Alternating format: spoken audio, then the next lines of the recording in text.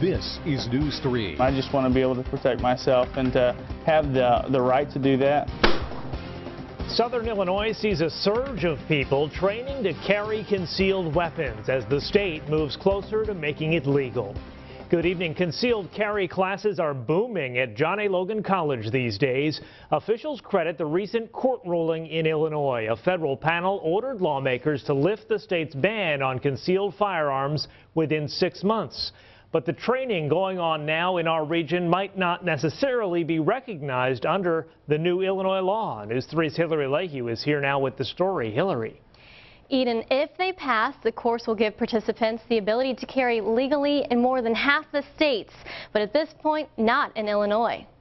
More than 300 people are expected to fill the seats of a concealed carry training course this weekend at John A. Logan College. Yeah, it's, it's neat. 26-year-old Jane Bernhardt of Johnston City is one of them. To kind of know my rights as a gun owner and uh, kind of what's expected state to state. Bernhardt likes to travel and wants to make sure he's protected on the road. This weekend, he'll sit in this class for four hours in hopes of earning a permit that will allow him to carry in 31 states. I know some states you have to have it visible, some states you have to just have it in a container. So um, learning that is one thing I'm looking forward to, but just the ability to have it you know, in an arm's reach is uh, something that you just never know when you're going to need it. Casey Fuller is the course instructor with 25 years of firearms experience. He says the anticipation of a concealed carry law in Illinois has been good for business.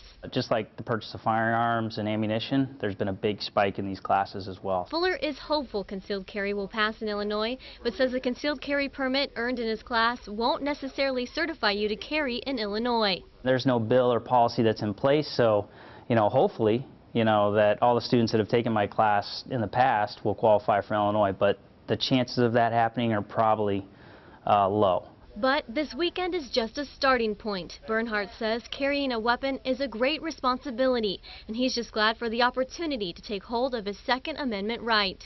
I think it stems back to just, um, you know, good, honest citizens that don't, you know, break the law and want to protect themselves against criminals.